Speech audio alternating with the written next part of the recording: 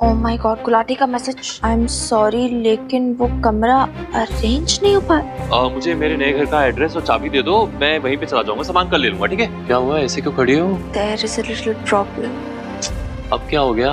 वो room arrange नहीं हो पाया। For more updates subscribe to our channel click the show links and enjoy watching the videos.